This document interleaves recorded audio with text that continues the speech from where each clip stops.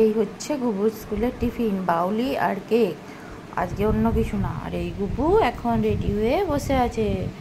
গুবু, সবাইকে good morning বলে দাও। বলে দাও বাবা মর্নিং এই সময় কী বলব, ঘুম ছাড়ে না, কিছু না। এখনও ছটা বাজে না, এর মধ্যে ছিল আমার রেডি চলো।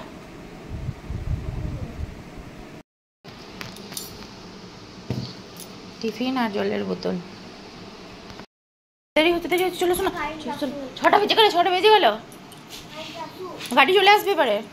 গাড়িটার কোনো ঠিক নেই কোনো দিন ছটাতে বসে, ছটা বাজে না একটা পিঠে লাগা পিঠে লাগা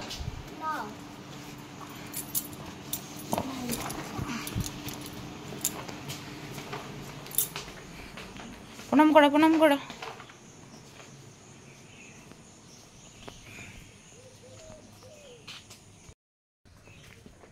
মা বেটা এখন চলল। স্কুল মাও চলল স্কুল, বেটার সঙ্গে সঙ্গে।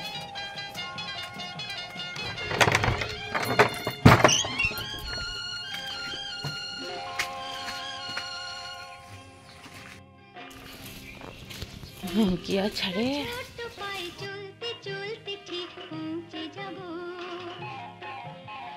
ছোট্ট ছোট্ট চলতে চলতে ঠিক পৌঁছে যাব। সেই চাঁদের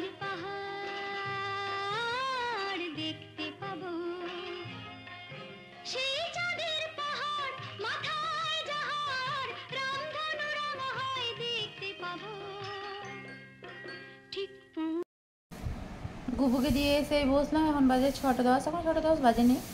ছটা সাত আট এরকম হবে। আর এখনও মিমির স্কুল আছে, আজকে দমে চলবে একদম, কালকেও চলেছে, আজও চলবে, তো কালকে মিমির স্কুল ছিল না। লাস্টে আটটা পাঁচ দশে মিমি যখন ঘুম থেকে উঠলে, তখন বললে স্কুল নাই, তাই একটু রিল্যাক্স আস্তে আস্তে কাপড় চাপড়, কাপড় চাপড়গুলো কাচলাম, রান্নাটা লেটে হলো। কিন্তু আজকে তো রিল্যাক্স করা দু মিনিটের জন্য যাবে না। এবারে ব্রাশ করব।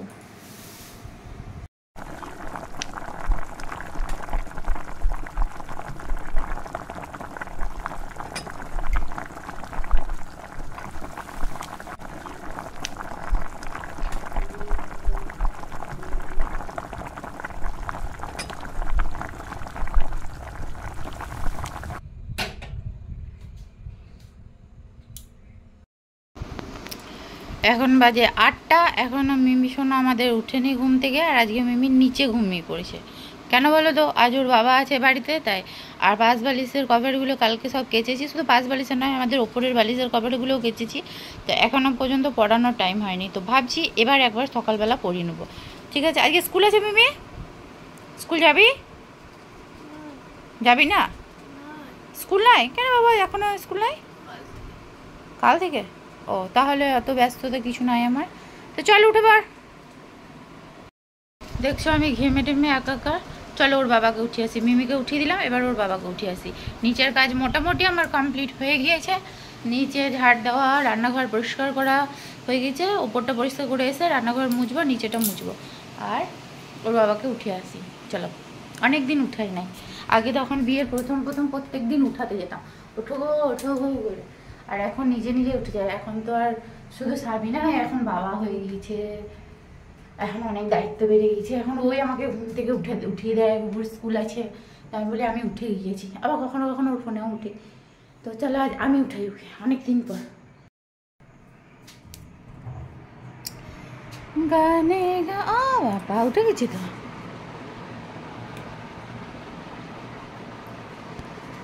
চলো।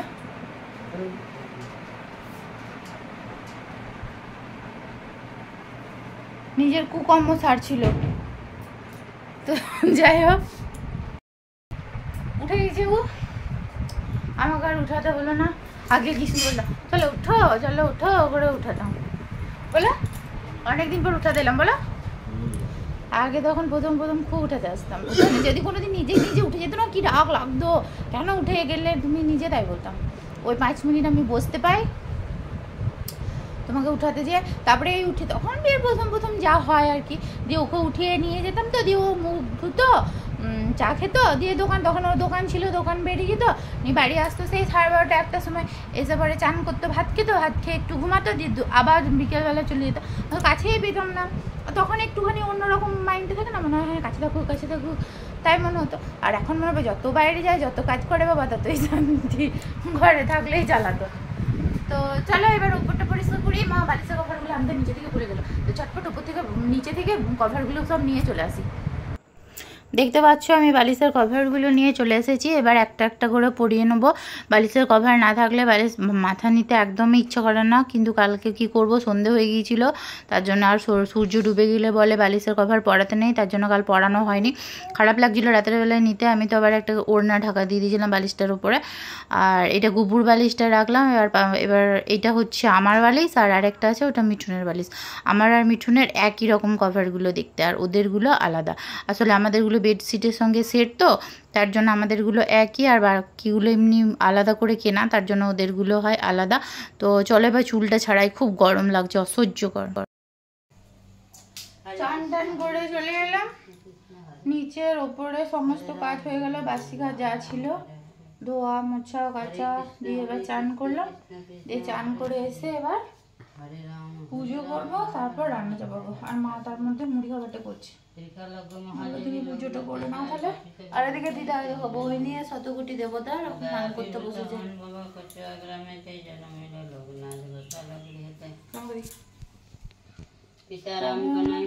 চুলটা ছাড়াই সিঁদুরটা ঠেকায় তারপর পুজোটা করব তাহলে পুজোটা করে আসি তারপর মধ্যে তোমরা যে হটপট যা কাজ করবে করো আর আমিও পুজোটা করে এসে তোমাদের সাথে কথা বলছি।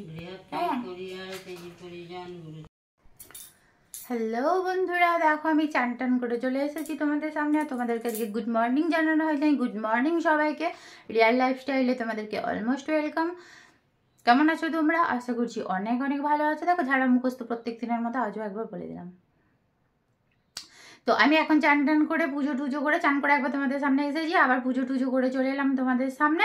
তো এখন যে পরে আমি রান্না বসাবো, ঠিক আছে? তো চলো দেখতে থাকো ভিডিওটা। আর প্রথম থেকে শেষ পর্যন্ত না টেনে ভালো লাগলে একটা সাবস্ক্রাইব করো।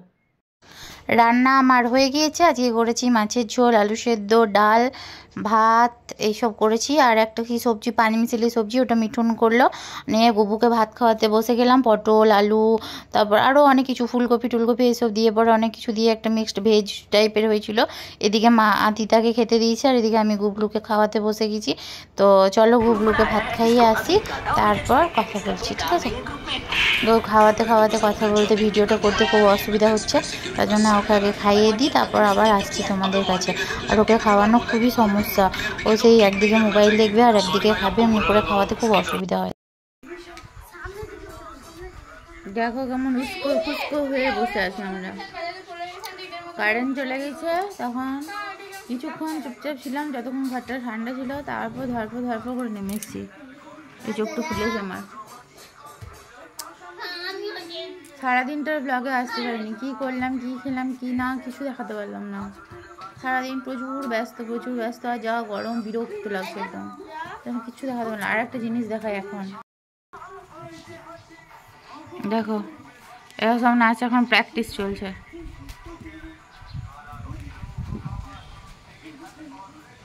ভীষণ ঘুম থেকে উঠে পড়ে বাথরুম গেল।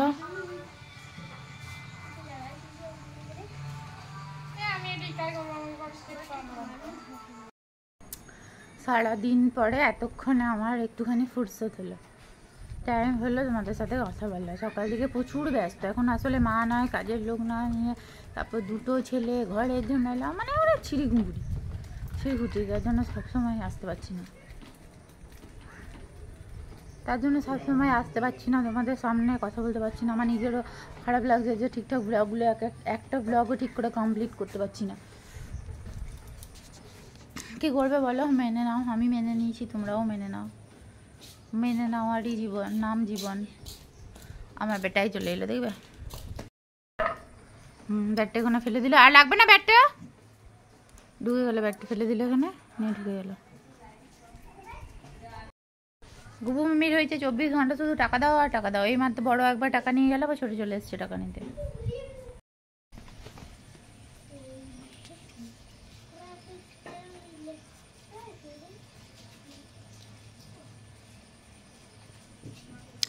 আবার দেয়।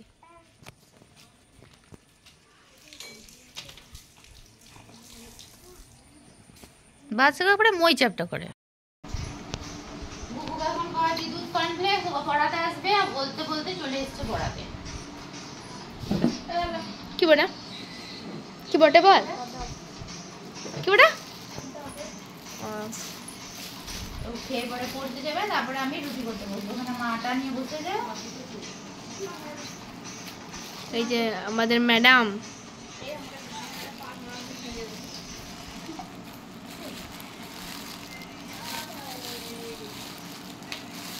মেসেজ করে কি করছ? কার মরম নেই? পারবে না। এখন নটা দশ বাজে। ওদেরকে এসে পরে পড়ছিল তো চাদরটার এমন অবস্থা করেছে যে বল আবার একটু করকম করে বন্ধ কর। এই তো বেরিয়েছে এমন অবস্থা করেছে চাদরটা যে বলার কিছু না এসে পরে আর ঘিন্না লাগছে।